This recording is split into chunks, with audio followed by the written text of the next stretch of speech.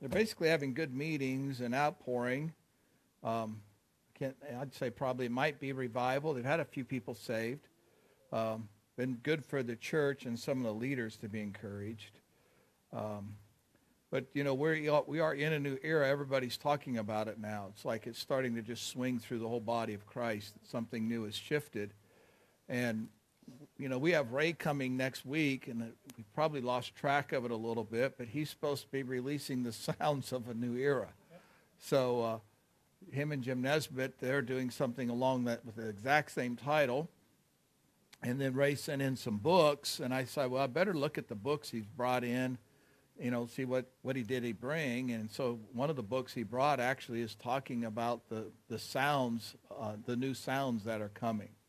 And he just published it last year. So I already snagged a copy for myself and put it in my bag, and I'll pay for it later. Make sure I get one.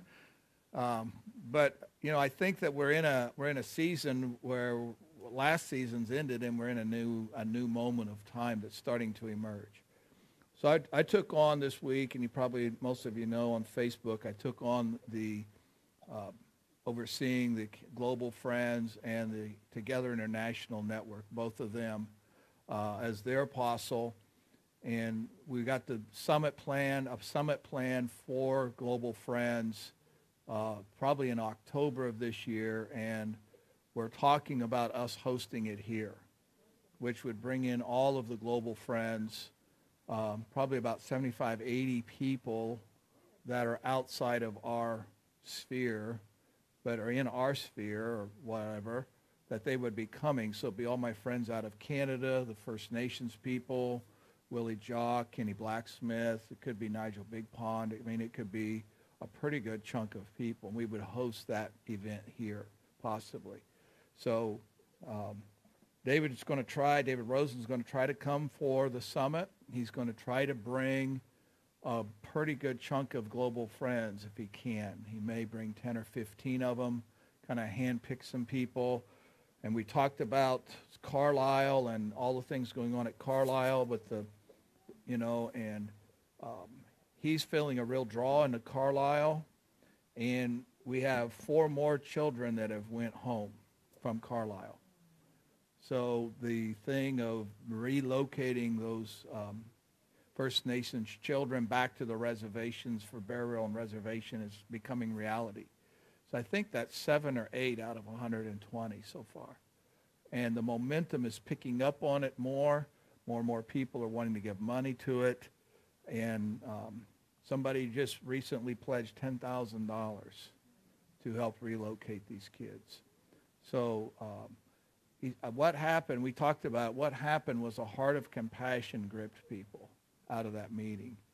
Um, and so David and we had a very honest conversation and talk about stuff. And so I uh, feel like we're moving into a new dimension. I don't know what it's going to look like. I don't think any of us understand what it's going to look like yet.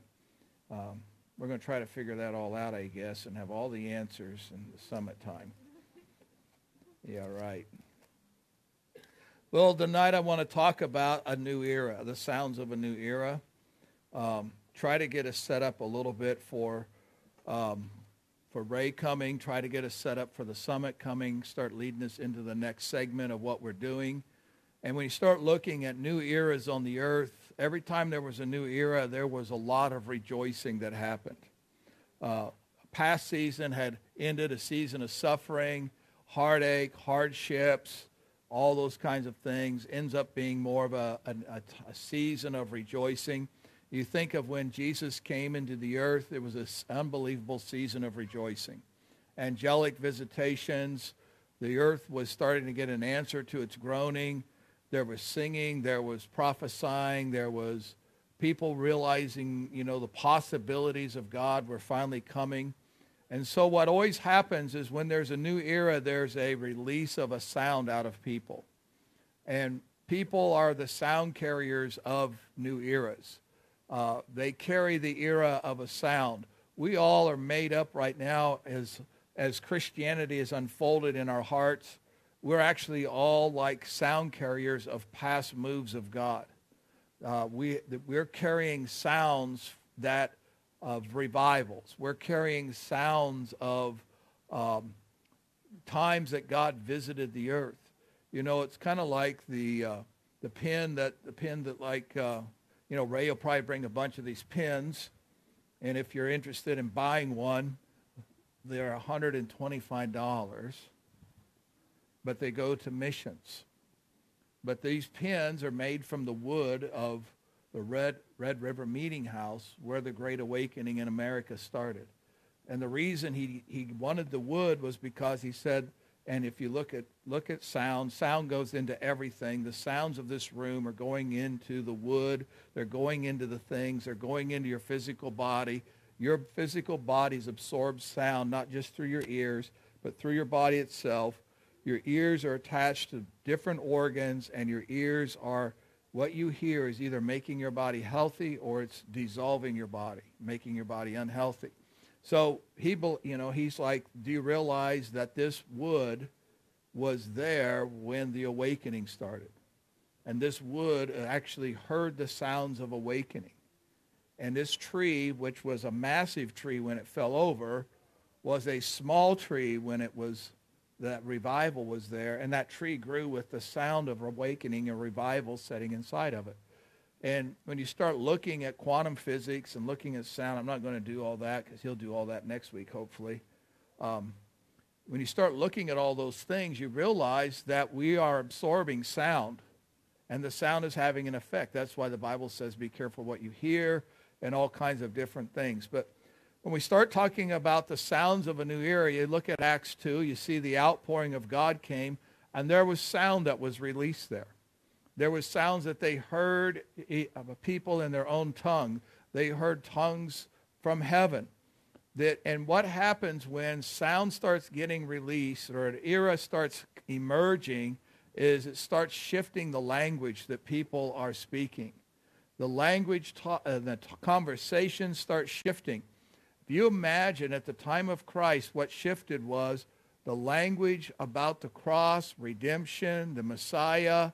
400 silent years have ended. There's now a sound that's upon the earth. They are talking about what's going on around them. And probably even the most common person who was didn't believe or anything was still talking about what was happening upon the earth. When the awakening happened at Cane Ridge, Red River, that sound people were talking about. It's why people came to those locations. There was sounds that they were hearing about, about the most uncommon things, but yet God was doing something. And so it started sparking actually wonderment about what God was doing. Even probably at the time of Christ, they were, they were asking, is this the return of the kingdom? And the questions started coming. So when a new era comes, there's a lot of questions about the future. And there's also a lot of questions about is the world coming to an end or is, are we getting finished with what we have been doing and we're coming into something different? So when a new era comes, it starts shifting your affections and your values. It starts affecting your heart. God starts dealing in hearts. You have to close things off of your past and you have to open up new seasons upon the earth. And so probably there's people in transition right now, and I know there are, who are having to close the past off because you can't drag the past into the next season. And as good as things were in the past season, you still can't take that into the next season. There's ministries that I know right now in Kentucky that have closed. They've closed their ministry because they want the next season and they don't want to drag something from the past season into the next season and so they, they, they just plain decided to do that. And so what happens is when a new season or era comes, it's something that has been longed for, expected for, anticipated for. When a new season starts coming, everybody has a longing in their heart for that which is there. And that, I think, is where we are actually at right now because this new season is moving us from one moment of a prophetic fulfillment, because that's what's happening when the past season closes, is the past season's closing, prophetic fulfillment has come because apostolic destiny is being released. And so in John 7, I will use the Bible. In John 7, 6, it says, Then Jesus said unto them, My time is not yet come, but your time is al- always ready. Which really it translates like this Jesus said unto them, My kairos is not yet come. My divine moment has not yet come, meaning I have not came to the closing of my season and the opening of my next season, the cross, but your kairos is already here. In other words, your new season is setting right here in front of you. It's actually, here I am, here's Christ. And so basically, we're coming into this next season, and we've been talking about this for a little bit now, that what we're coming into is that the kingdom requires apostolic Christianity to emerge. That is part of this next season. I find it interesting that I get this text message tonight making that statement I just did. It's like apostolic Christianity is emerging in this next season, and there's going to be the recognition of apostles, and there's going to be the embrace of that gift. And I, I'm just, I'm just as blown out of the water as you all are about that text message. But it's like this is what's starting to emerge. And so that is really the era because here's what this era is it is a redemptive purpose through regeneration. And you know, I've talked about regeneration and the, it's a biblical principle, it's a Christian principle of God that God regenerates. So there's a regeneration. So the era we're entering into is a redemptive, there's a redemptive purpose of God that's setting, that's coming through regeneration into the earth and what God is doing right now is he's establishing a demarcation line. There's a, there is a line that's being dropped, and it's literally like he's showing before and after. And that line is going to start to widen. And some of you, it's probably been widening. Others, it's, it's going to widen. And so what he's doing is he's showing the extreme opposites. Whenever God started a new season, it was the extreme opposites of time that he started showing. So he's showing here is Egypt, and here is the promised land. Here is bondage, here is freedom. Here is them providing, here is me providing. There was these extreme opposites that he showed, and there was a demarcation line that was dropped into the middle of it. Really, the Red Sea was kind of like the demarcation line.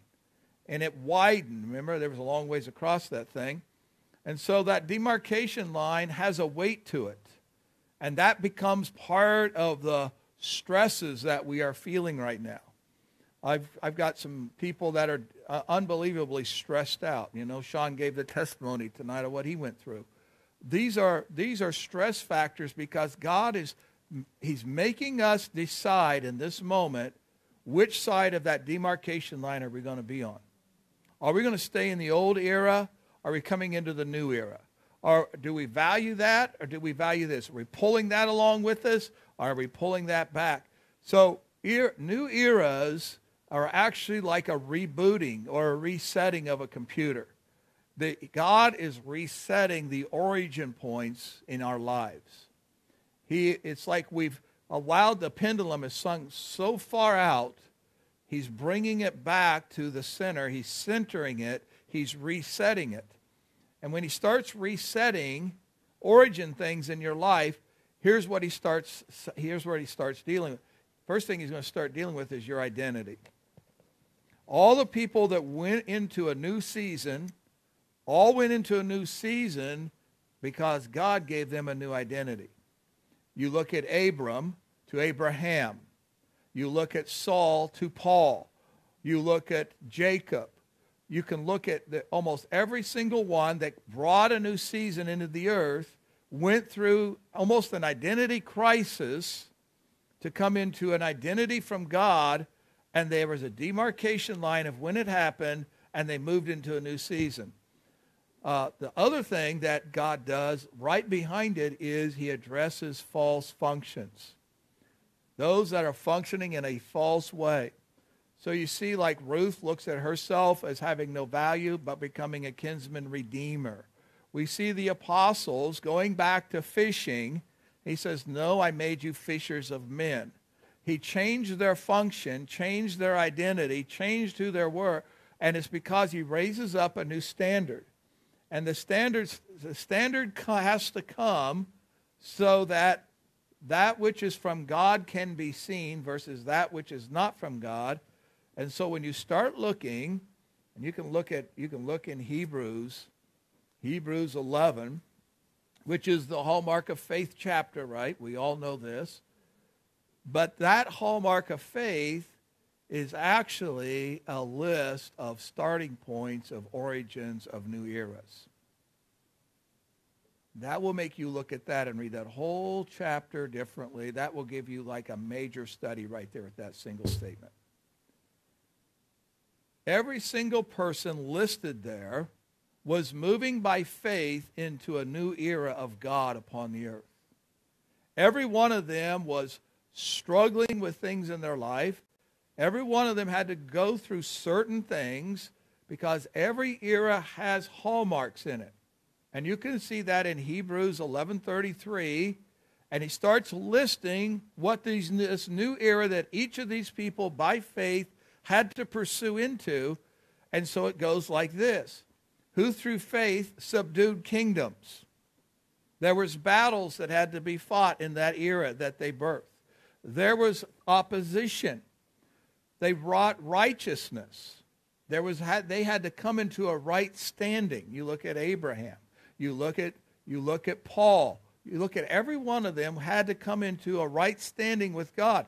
They obtained promises. They stopped the mouths of lions. They quenched the violence of fire.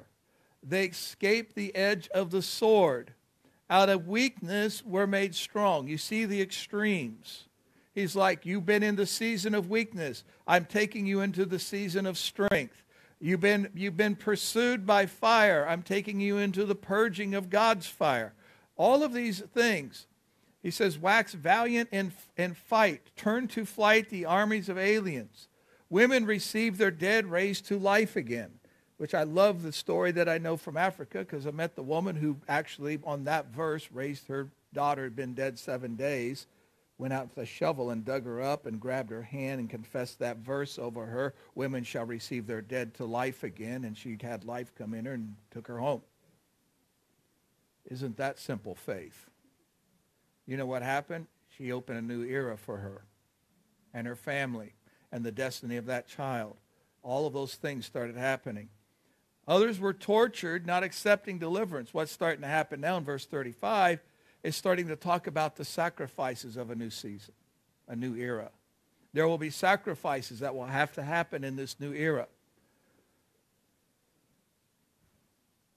So he starts talking about it. 36, trials of cruel mockings and scourgings. Paul was chased down like a dog.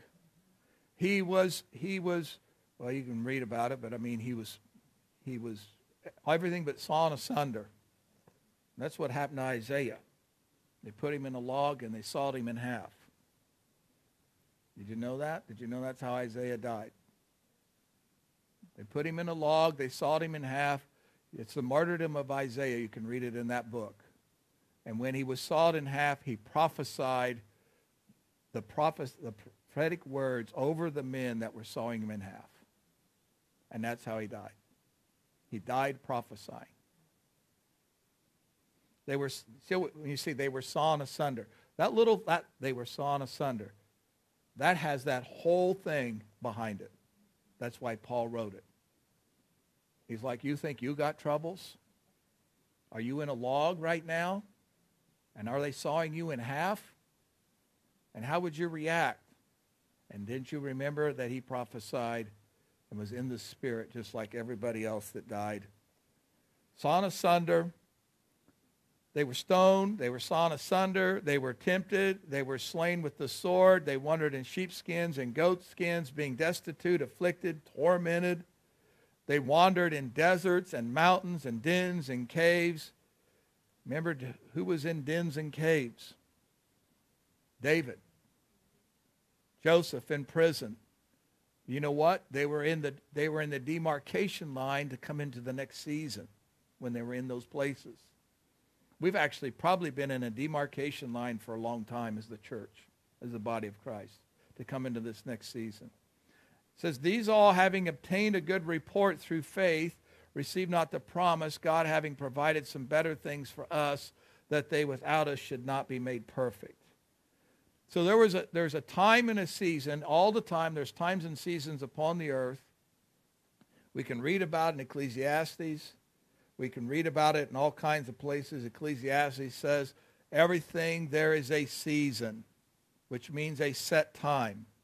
There is a set time of preparation for you. There is a set time for you to get yourself together. There is a set time of invitation for you. And if you don't respond to that invitation, you will miss your season.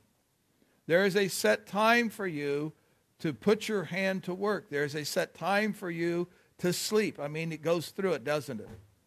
It says every time has a purpose. Everything that we do in life, there is a direct purpose related to the plan of God, whether you see that plan or you don't see that plan.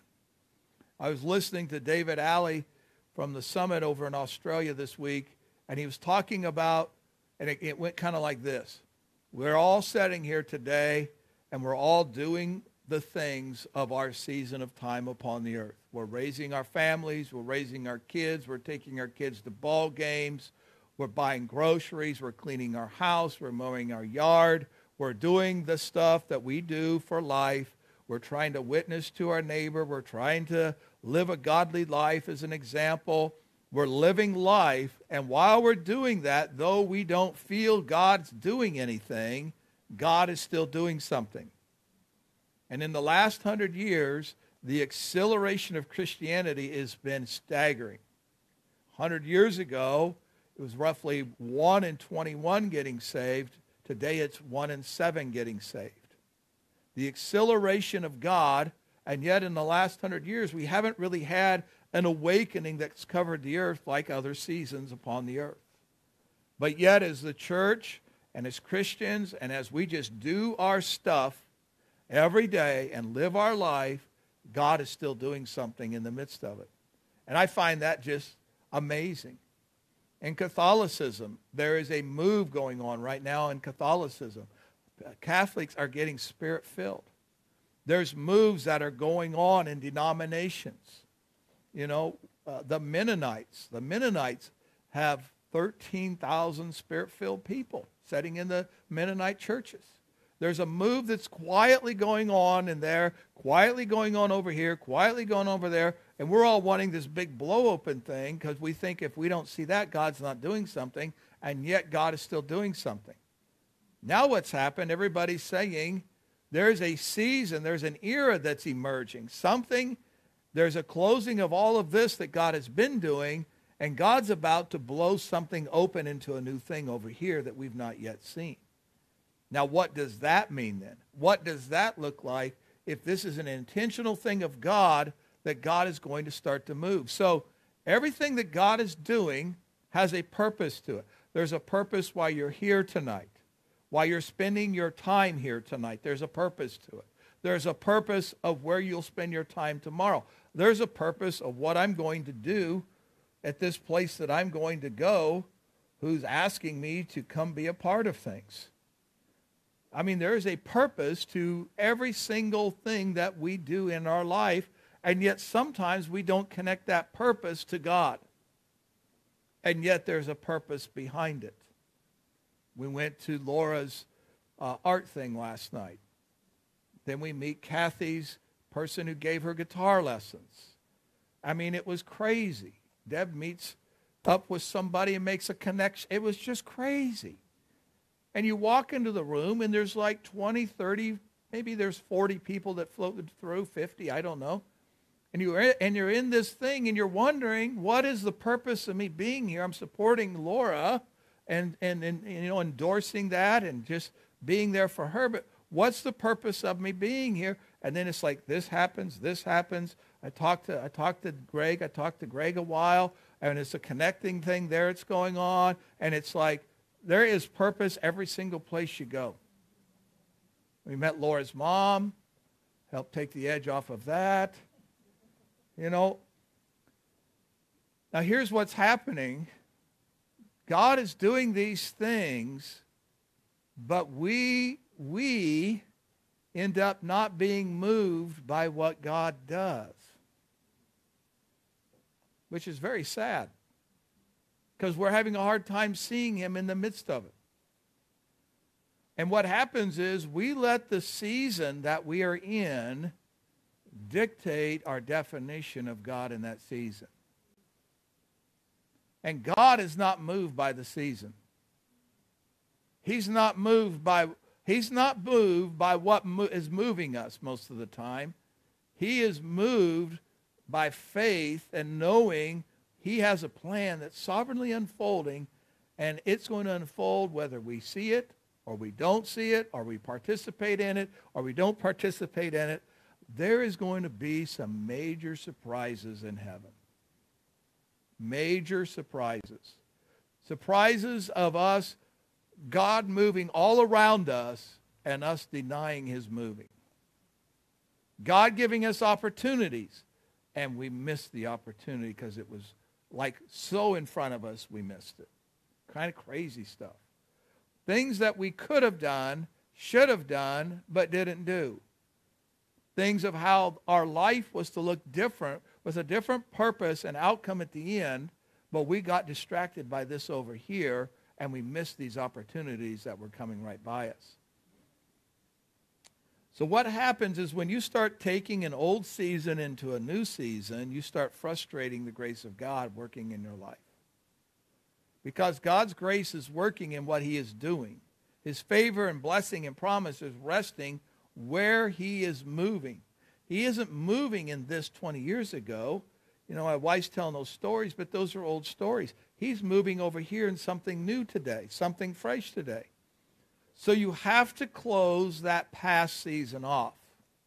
You have to close it. You have to allow a new season to start coming. And even in this year, with where we're at, our, our, we didn't have spring. In case you missed it. You didn't get the memo, spring didn't show up. Summer came in. Well, why is that? Isn't that a prophetic sign that God, like, I'm changing the season so drastically, there isn't going to be just a drifting in. Here's a demarcation line. It's literally like a prophetic sign of we're moving from this season to this season, and that in between season that lets you transition is not going to be there. Because I'm moving over here, and it almost tells me he wants to do something accelerated. He wants to speed up the season that we're in. He wants this.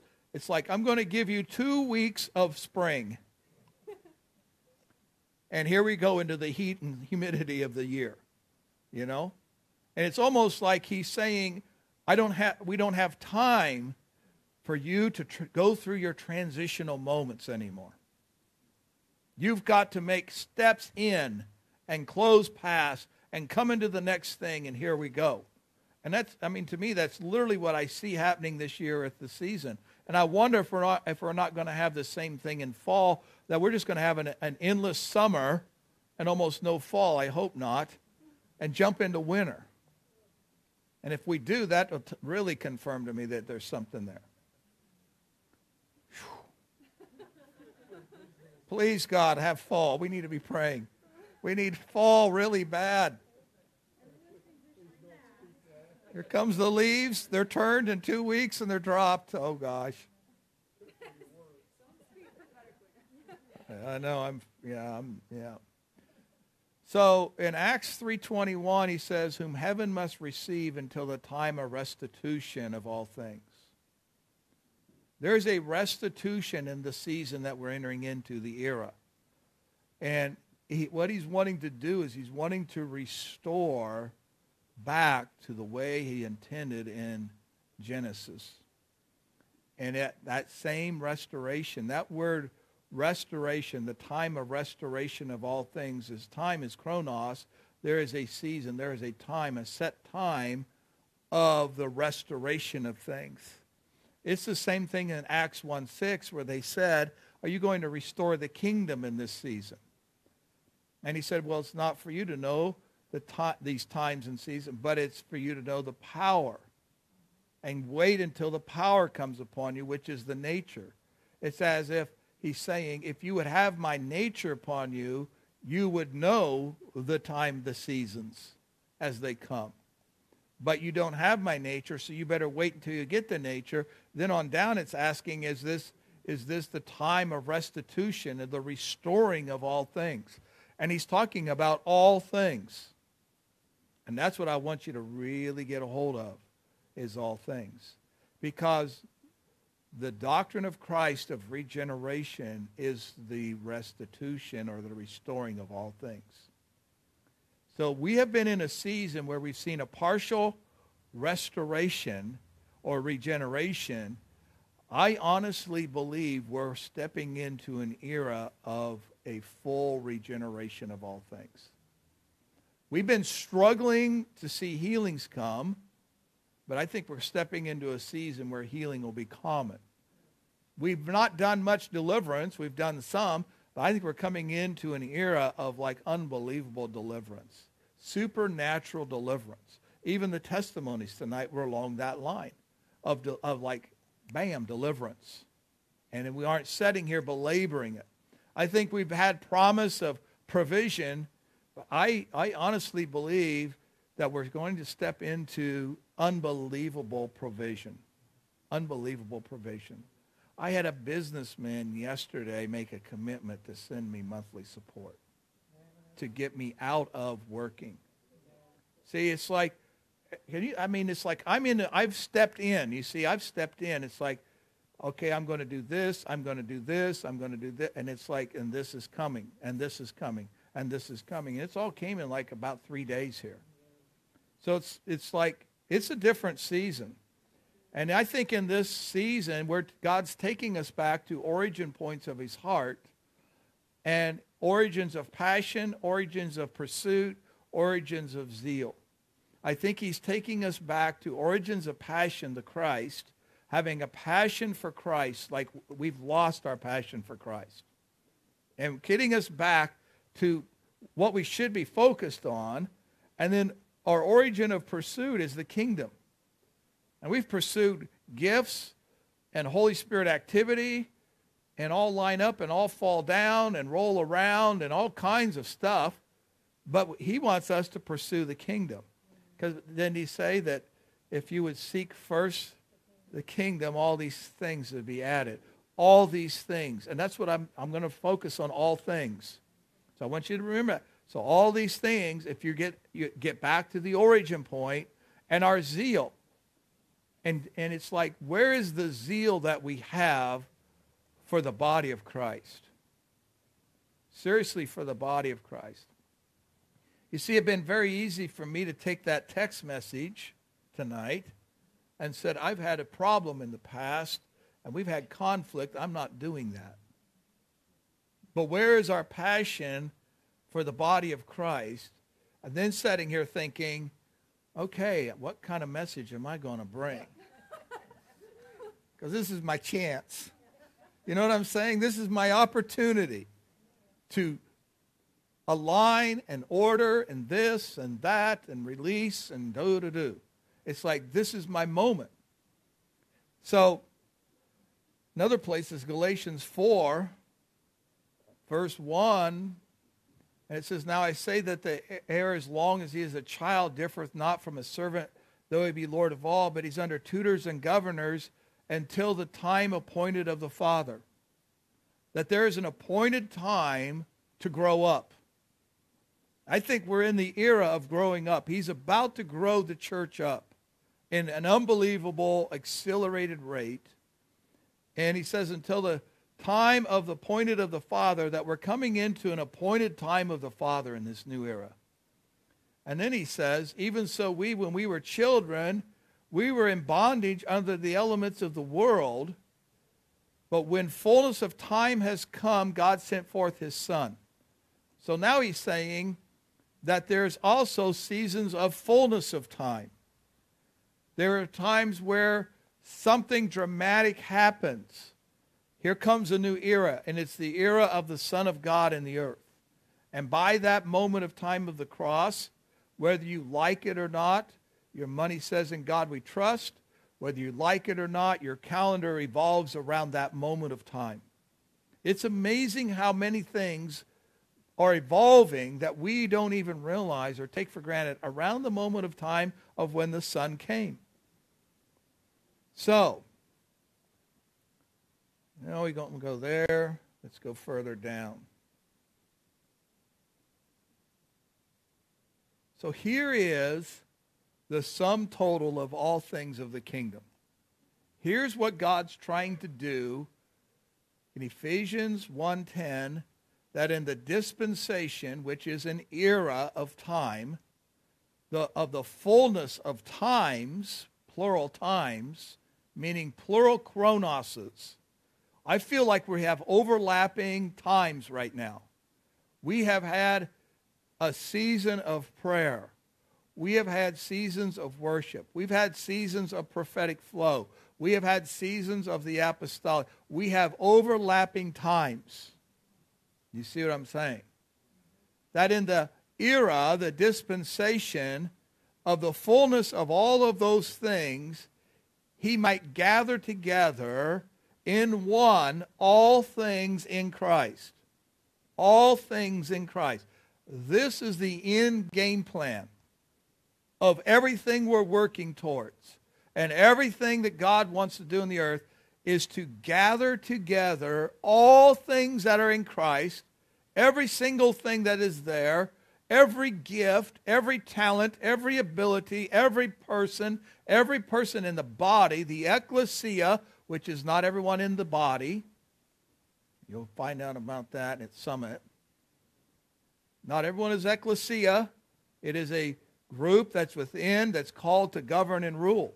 Not everyone's the bride. It's those that are pursuing intimacy. Everybody is the body, but there are certain factions within that have certain rights and privileges because of their heart. So he wants to gather all of it collectively all of it, meaning the sum total together in Christ. And then he starts saying, in heaven and in earth. So it's a gathering of everything that's setting in heaven of Christ and everything that's a gathering that's in the earth in Christ, all coming together. That is, that is the end of the um, age. I won't get eschatological on us but it's the end of the age. It's the end of all that he's wanting to bring us back into the fullness of what his intention was, and he's wanting to gather all things. So, what is all things? See, if that's the end game, what is all the things that are going to be gathered? So you go to Colossians, and I'll just read off the list for you. It'll be easier than you trying to look for it. All things, Colossians 1. Verse 9.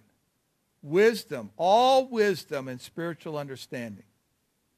He's going to gather all of it, all of our understanding together. We're coming together at Summit seeking all wisdom and spiritual understanding in that moment of time. That will be present in the body that gathers of what God wants to do upon the face of the earth. Verse 10, all pleasing. He wants to gather everything that's pleasing in, to him, pleasing in his sight. Verse 11, all things that are strengthened with might, which is the nature of Christ. It is dunamis. It's 1411 in the Greek. All might. He wants to gather everything that's been strengthened with his nature. Verse 11 again, all patience and long suffering and joy. He's going to gather all of it up at once, gathering all this joy. I mean, I'm looking at Ezra, and I'm can't I, like, here's this baby that just is so full of joy. He just smiles and laughs, and you're going to be 20 feet away from him, and he's looking at you to see if you can get him to laugh. It's weird. It's good, but it's like, is this a thing of like all things? Is this kind of prophetic or symbolic of what God's trying to do with us? You know, should have some form of joy. Jeez. Colossians 1:16, all things were created. He's going to gather everything that was created. In the same verse, and those things are created, all things are created for him, not for us. Amazing, we think everything's for us. No, it's all been created for him. Verse 17, he is before all things, meaning he has more value than the things themselves. He has more value than wisdom and spiritual understanding and might and joy and patience because he created those things. He is before all things. At verse 18, he has preeminence before all things or superiority of all things. Verse 19, he has all fullness dwelling in him in the Godhead bodily. The fullness is dwelling in Christ. He's gathering his fullness. He's gathering what the measures of it that he's distributed to everybody. Verse 20, reconciling all things. And you go into Colossians 2. You can read the whole thing in Colossians. Verse 2, all riches. Verse 3, all treasure. Verse 9, all fullness of the Trinity. Verse 10, over all principality. Verse 13, forgiving all trespass. He's going to even gather up trespass. Verse 19, nourishing all the body. How the body grows. He's going to gather how the body grows together. I mean, man, you talk about some stuff. Verse Colossians 3:11. I'll just read it to you.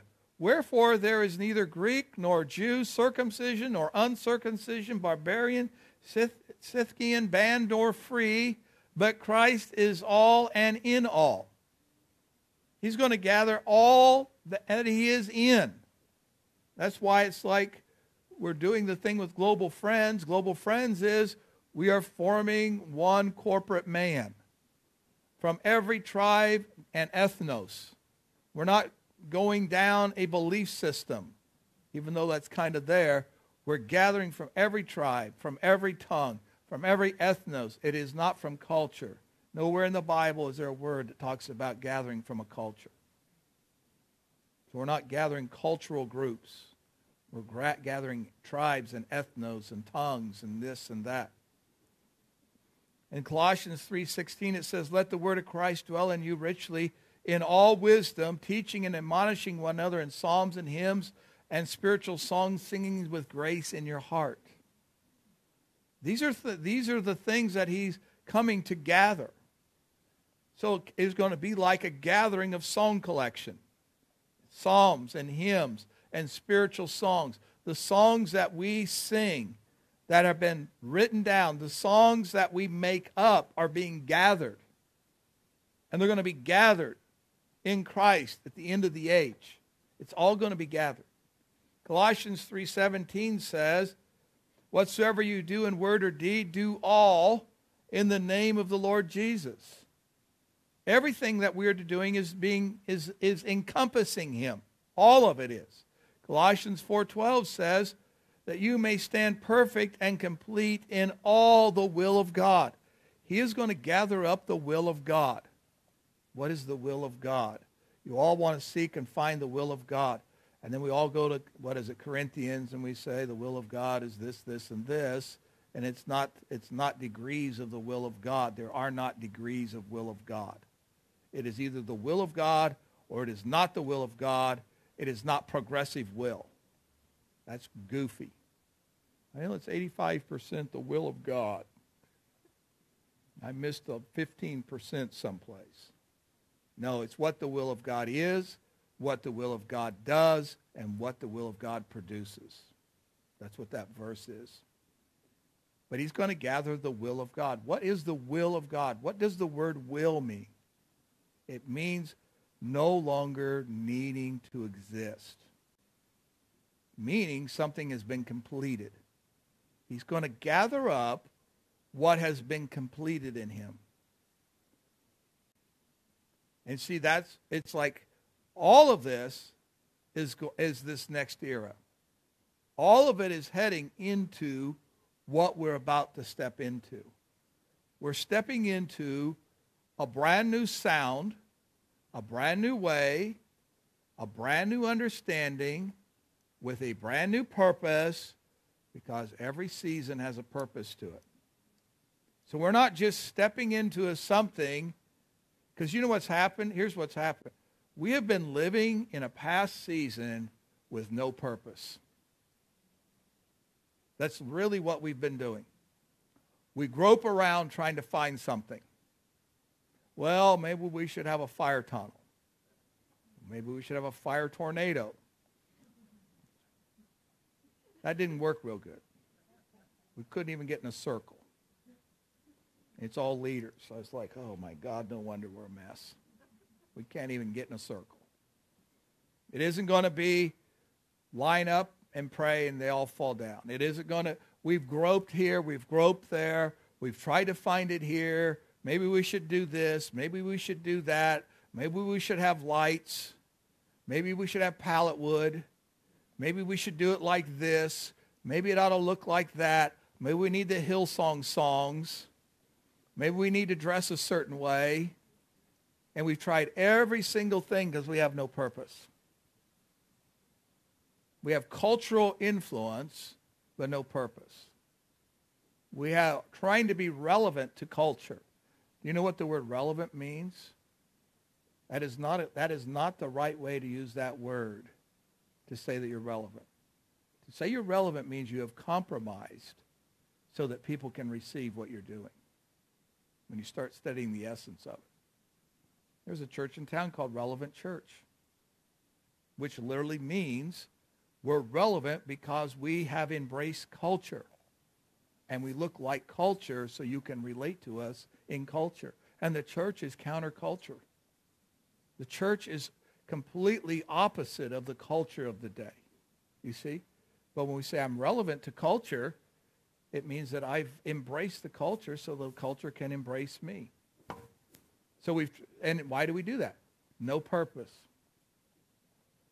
So I think what God's doing as we move into the next era is he is bringing back a new focus on our purpose of why are we here? What are we to do with our life while we're here? And he's going to take away all of this complication we've built and get us back to some foundational things that we build off of. And that becomes now more of the heartbeat of what we do instead of all this other stuff we're trying to do. And I, I don't know what Ray will do when he's here next week. I feel like he's going to talk about sound. And there, there are sounds, there are sounds that we are carrying. There are sounds that are dropping right now in, into the earth. There are sounds that we have to pursue. There are sounds that are going to create things in our midst. There is there's talk of a whole new level of of sound in worship beyond the prophetic sound that we're doing right now. And they're calling it apostolic sound. There is coming an apostolic sound into the music. No one knows what that looks like. But that would be a new era. I mean, that would be a crazy new era of something that's going to happen. So, you know, I'm, I'm watching, I don't know how many of you are watching. Do you see all of the new instruments people are building right now?